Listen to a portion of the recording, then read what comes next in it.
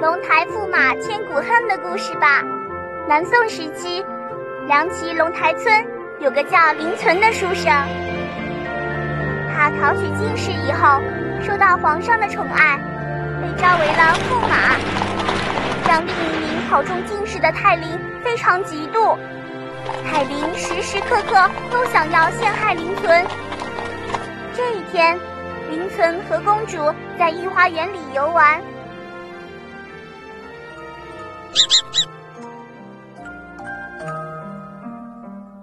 驸马，你看我们皇家的花园是不是很漂亮呢？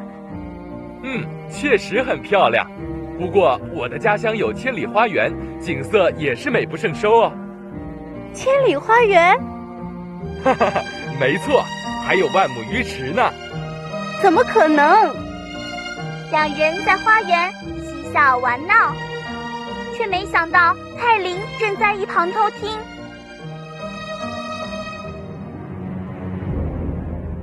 我从小就玩龙台睡凤窝。我才不相信，驸马，你说谎话。我说的都是实话呀。不可能，你家会有我家好吗？哼！两人说着说着，竟赌起气来，这可让一旁的泰林窃喜不已。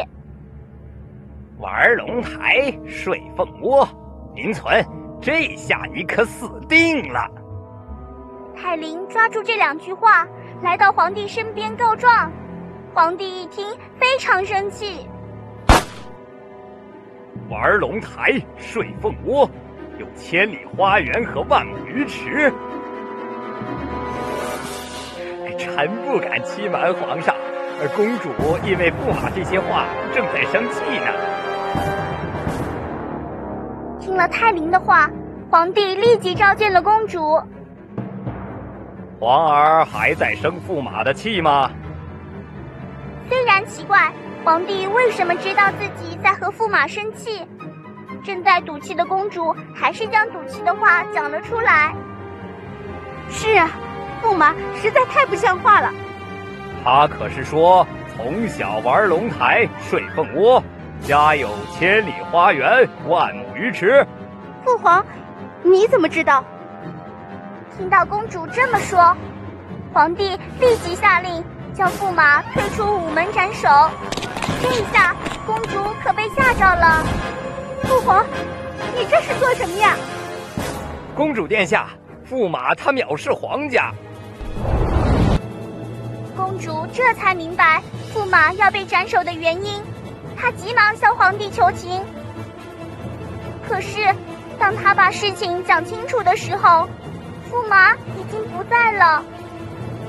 伤心不已的公主觉得事有蹊跷，她暗暗的调查起来，最后终于得知是泰林诬告。父皇，儿臣找人调查过了。驸马讲的龙台和凤窝是狼骑的两个村子。